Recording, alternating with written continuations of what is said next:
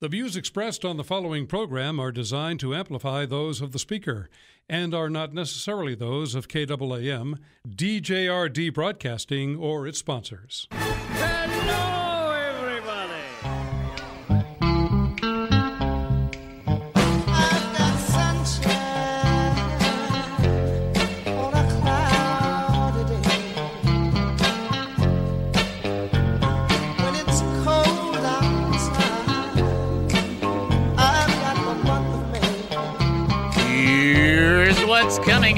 on today's experience. Devotional Diamonds of the Day, also known as DDDs, where my daily devotions become some of our spiritual reflections. Sound effects placed throughout the show which have nothing to do with life, but they separate us from the animals.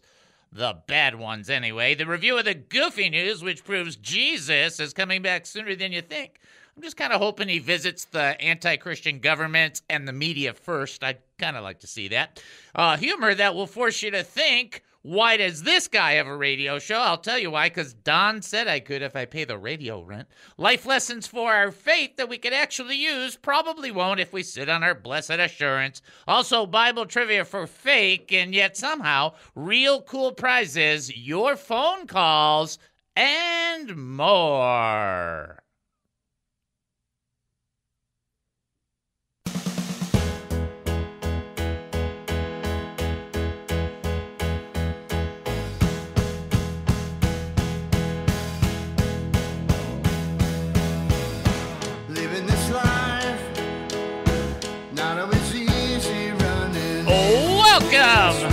To the David Spoon Experience, local, national, and heavenly time. My name is David Spoon. I'll be your host for the next 5,400 seconds. Get ready for one of the more bizarre experiences on live radio. Here is the key to the show. We don't know what we're doing. Didn't you get that in the introduction? We don't know what we're doing. We have no idea what's going to happen, and we don't care. But for the next few minutes, I want to talk faith with you. So here we go. We're asking questions about living life as a Christian. And like the question we'll ask ourselves often why isn't everything that we do perfect?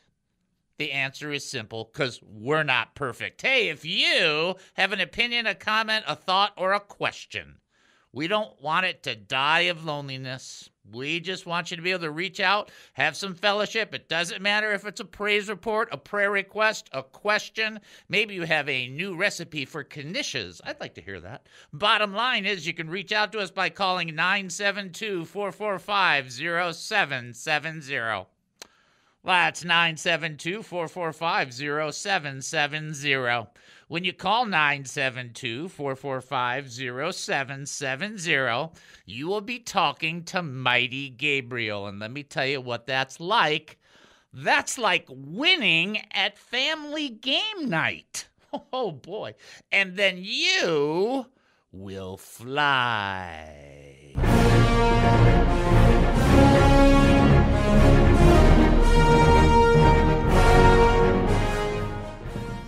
All right. I'm not going to say that Noel and I, when we did family game night, I'm not going to say that we cheated, but let's say we always play as one. so that's all I can tell you right there. Hey, if you want to text us, you can do that as well. So you can call in, that's fine, or you can text us, that's fine too. You text 214 210 8483. That's 214 210 8483. Nothing weird about that. Always doing this at a pace where everybody can catch on. Here we go. 214 210 8483. That's for the texting, by the way. You, can also email us, David at he must increase.org. That's David at he must increase.org. David at he must increase.org. We're going to send you up to the website.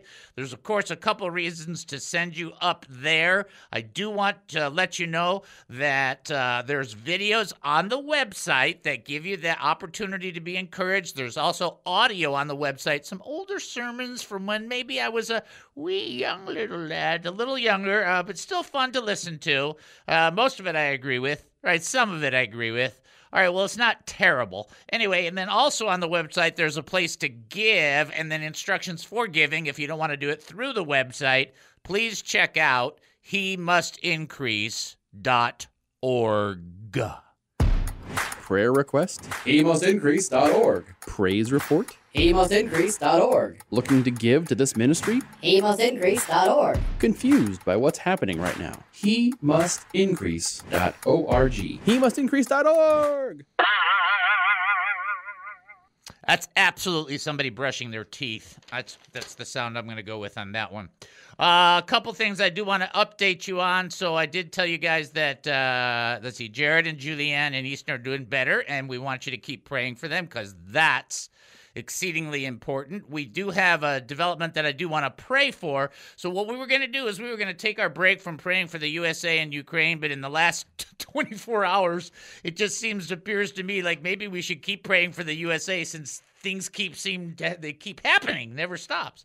And so I just want to pray along those lines. And uh, so just kind of join me in that. We'll pray real quickly. Do it, just put your faith together with mine. That's what Jesus said. And two or more agree upon anything, it shall be done for them.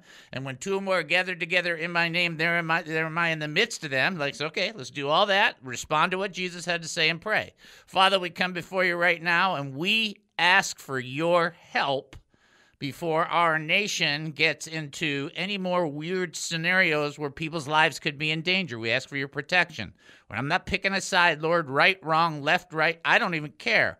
What I pray for, Lord, is that you would be the influencer in people's lives and that are in leadership and not human, fleshly, worldly, or satanic influence. But that your Spirit would move upon people's minds and hearts, that we might have redemption and restoration for our very own nation. We pray for your help. We want you to be the Lord God of our country. We're not asking to eliminate everybody else. We're just asking for you to be the influencer. We pray in Jesus' name.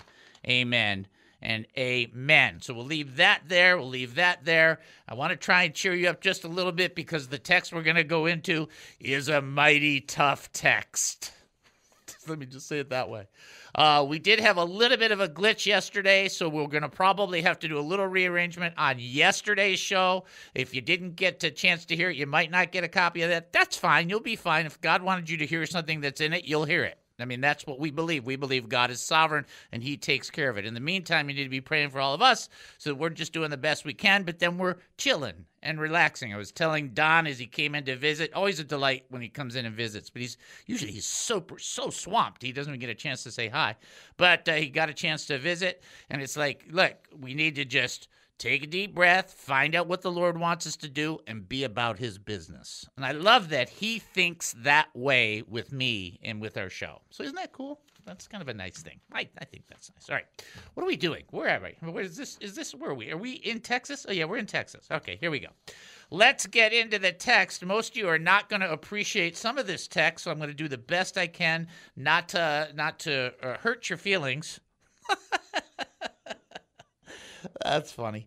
Uh, I'm sorry. I, I, I always speak for the author and not the audience. I can't. I just can't do anything else. There's nothing I can do about it. Uh, so that's why that was a funny joke. Uh, Matthew chapter seven, and we're picking it up after Jesus talked about judgment. If you remember, if you were here, if you were listening, uh, this is on podcast. We talked about the fact that the world says you judge not, and then they just leave it there, and they leave out the other four and a half verses, or they leave out John uh, chapter seven, twenty four, which Jesus said, "Judge ye righteous judgment."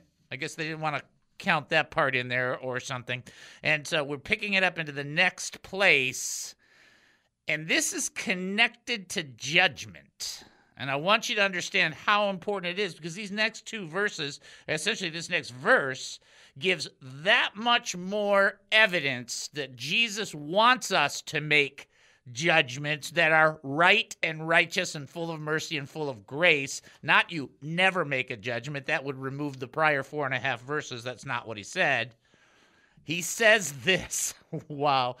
I didn't write this, but you got to love it. This is coming out of verse 6. Don't give what is holy to dogs or toss your pearls before pigs for they will trample them under their feet. They will turn and tear you to pieces.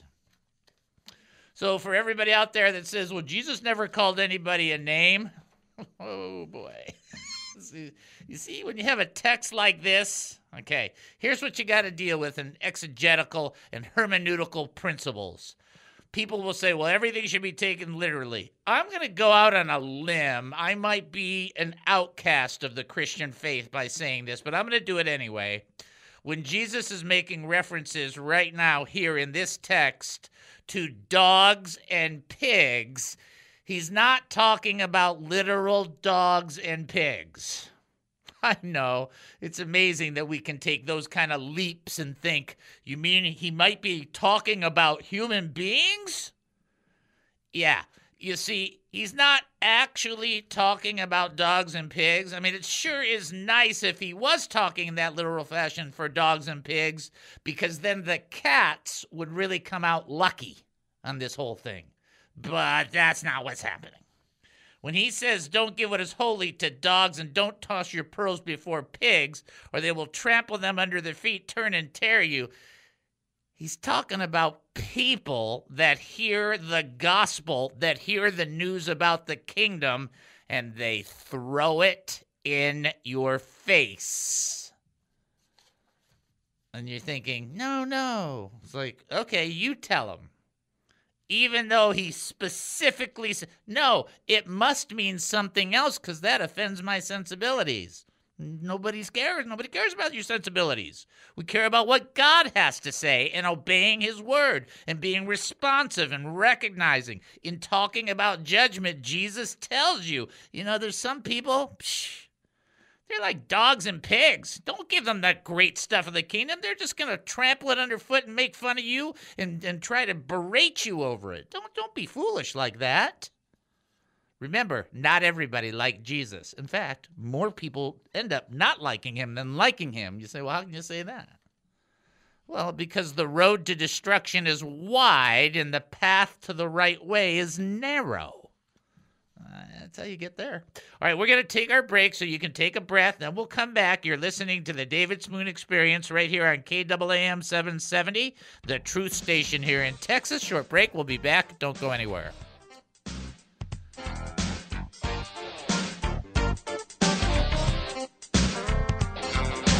Most of my life it feels like I've been running. You may be from a Baptist background, a Pentecostal background, a non denominational background. David Spoon has that too. You may be from the Church of Christ, Presbyterian, Methodist, Church of God, or some other denomination. But if you're looking for a show that's Bible based, spirit led, and a bit nutty, then give David a listen for a while. If you like it, great. If not, no worries. The David Spoon Experience. What is the David Spoon experience? Can I blow your mind? You know, I did this with you before, but on a different text. I love this text. You will love this text because you and I are sci-fi people. You'll love this. I mean, this is one of those. Oh goodness gracious, that's so good. Uh, First Samuel 23, 10 through 12. First Samuel 23, 10 through 12. Okay, okay, okay, okay, okay, okay, okay. 1 Samuel 23, 10 through 12 says this Then David said, O Lord God of Israel, your servant has heard for certain that Saul is seeking to come to destroy the city on my account. Will the men of Keilah surrender me into his hand? Will Saul come down just as your servant has heard? O Lord God of Israel, I pray, tell your servant. And the Lord said, He will come down. Then David said, Will the men surrender me and my men to the hand of Saul? And the Lord said, They will surrender you. I love this portion because people we we think in these boxes and we force God into our theology and say he must conform here, which is just insanity by itself. Here's a situation where David hears that Saul is coming down to try and get him, and he's asking, Will the people of the city surrender me? I've helped them, I've defended them, I've given them some deliverance. Is, is Saul going to come in and change their mind and they're going to give me up?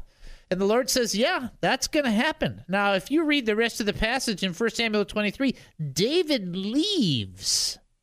So he is not surrendered to Saul by the men of the city. But what I want you to catch is this God knew what the outcome was going to be if David stayed, and what the outcome was going to be if David left. In other words, God knew the alternate universe or the alternate pathway that was taking place. We've talked about this before. It's one of those cool thoughts where we don't think of it in these terms. But remember, David says to God, Hey, uh, are they going to give me up? And the Lord's like, Yeah, they're going to give you up. That's what's going to happen. So you need to make a decision and go a different direction so we can have a different outcome. And it's like God knew what the outcome was if they gave him up, and God knew what the outcome was if he left. God knew what it would be if it went if he went left or right, if we went west, east, north, or south. God knew what the outcome was going to be no matter what, because God is omniscient. He knows all things, which means he knows every alternate route.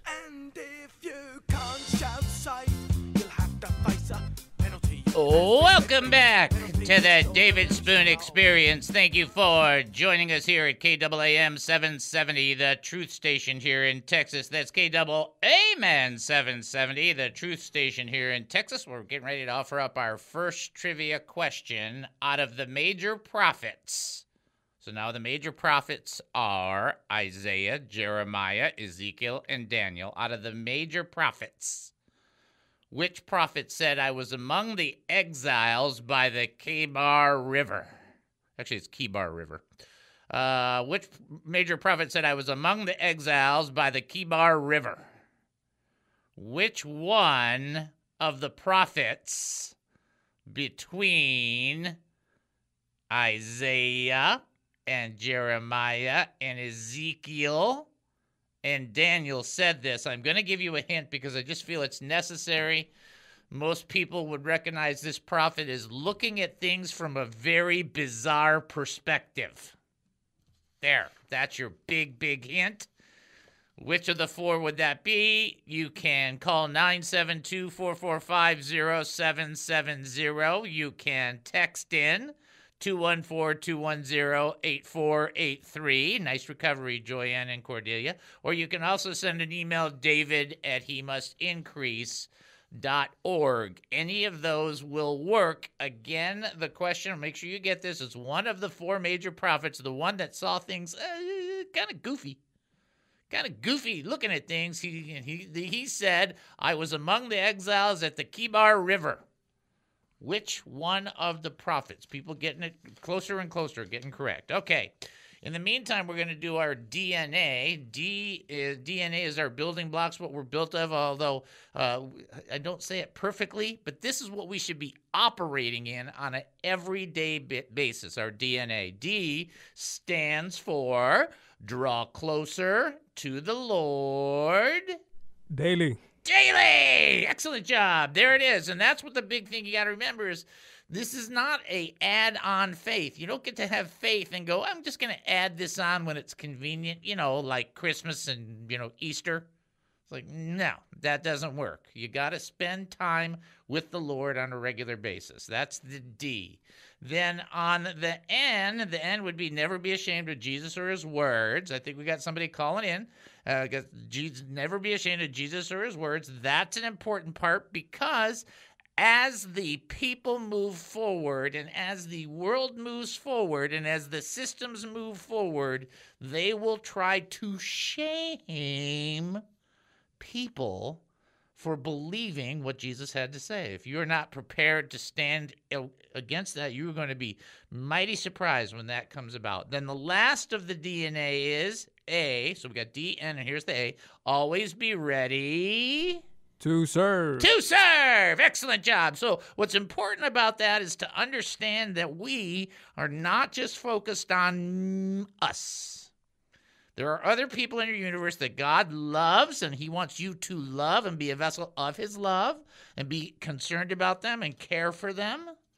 Okay? And you need to be, and I need to be sensitive to the Lord, yes, but aware of those other people. That is our DNA. We should operate that in that every day. Okay, we do have somebody that's ready for the trivia question, so we will send them on through. Knock, knock. This is David. Who am I talking to? Knock, knock. This is your friend Sam. Hi, Sam. How are you? Hey, I'm okay. uh, all right. Good to hear your voice. Good to hear you, oh. brother. Love to hear from you. Yes. All right, my brother. Well- Here we go. I'm going to give you the question first, and then we'll check up and see how you're doing. Okay? You ready? Okay. Oh, Which major prophet said, I am among the exiles by the Kibar River? I believe it's Ezekiel. That is correct, sir! Ezekiel, Ezekiel. This is the only guy you read his you read his whole book and you go, wow. Him and John are gonna have a lot of fun hanging out in heaven when you compare Ezekiel and Revelation. They're just gonna have a blast, right? Yes, I think uh, your clue really helped me to nail it down. I said that should be Ezekiel because of the goofy stuff, dry bones coming to life, and all. things. Yeah, a couple of weird things there, right? How are you doing, my brother? How are things going? I'm okay. I mean, I know the Lord is good, and I know that my Redeemer lives, so I'm living it. No, I want to pray for you nonetheless because you know I love you and I want the Lord to bless you. And I, you know, I'm the guy that thinks annoying people get a lot of stuff done. Somebody knocks at your door constantly for two, three, four, five, six minutes. Eventually, you have to open that door if you want to keep yourself sane. And so uh, we're we're gonna pray for you again. Is that okay? Yes, sir. Let, us do it. Let's pray. Father, we come before you right now. Lift up our brother Sam. We love him. We think he's fantastic brother. We ask you in the name of Jesus that you would give him not just, Lord, the confidence of your provision, but confidence for direction, for things that he needs to step into and touch, and that he would know what he should do. What's the next step? So he doesn't feel paused or stuck but that he feels like the next step is ordered by you, just like you ordered the children of Israel to go through the Red Sea. We ask for this in the name of Jesus. Amen and amen. Amen. Thank you, brother. Thank you, my brother. God bless you. God bless you too. Bye Bye bye. bye. All right, so you guys be praying for Sam. The Lord needs to give him direction, encouragement. We, he needs it. Like you know, you know, we can give each other encouragement, but when you get encouragement from the Lord, it's different. Why is it different? Because it's eternally moved.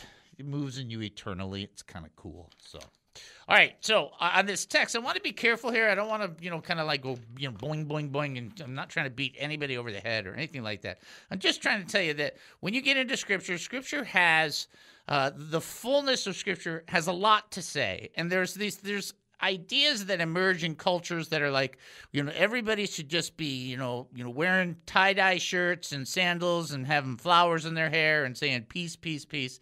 This is the same Jesus that drove people out of the temple with with whips and said, "Get out! You are you are making my father's house uh, disgusting." It's like he was so irritated and disappointed with them.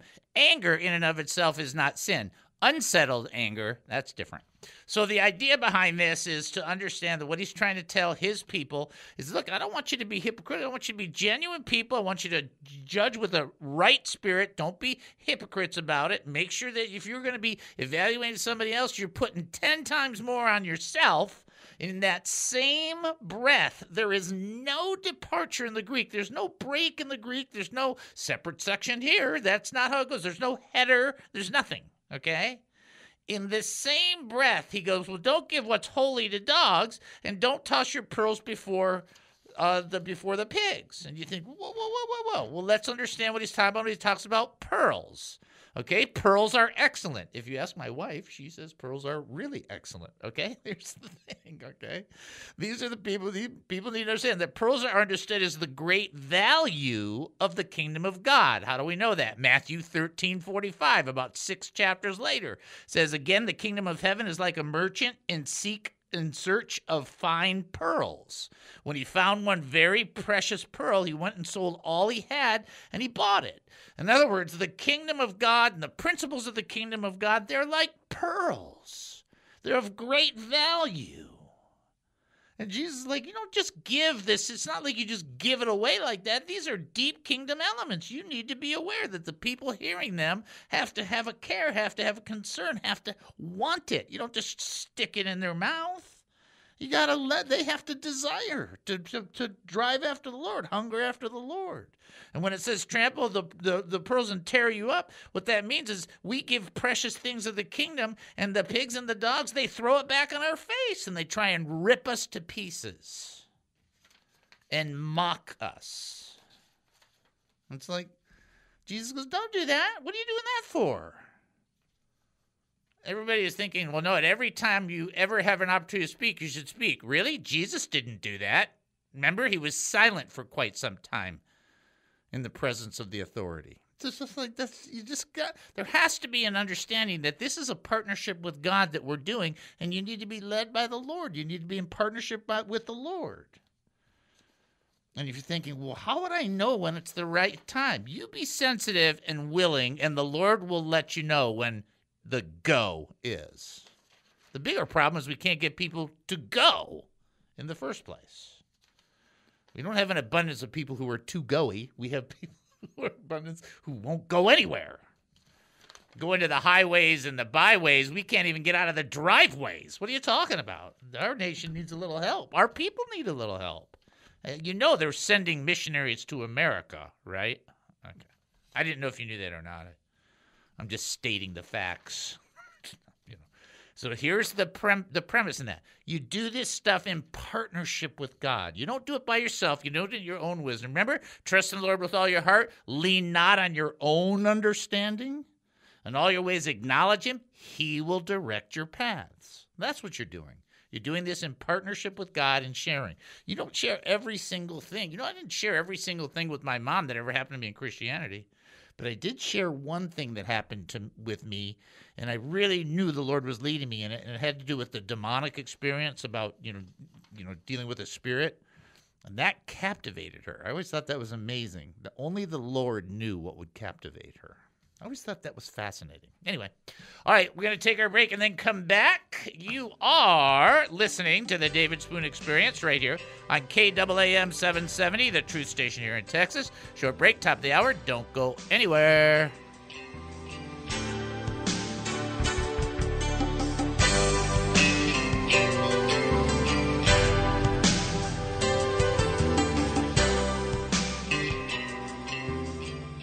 This KAAM radio show with your very own David Spoon is not a business, but a nonprofit ministry first and foremost committed to sharing the gospel of Jesus Christ and strategically equipping the saints. Our mission is to educate, encourage, and entertain Christian believers, the hurting, and those not yet believers who need biblical truths. To continue our radio ministry and message of truth, we need many of our faithful listeners to support us, as well as ministry partners who might wish to sponsor the He Must Increase ministry. By giving, you wonderfully facilitate our priorities of assertively teaching the Word of God, and you get nothing in return. No quid pro quo.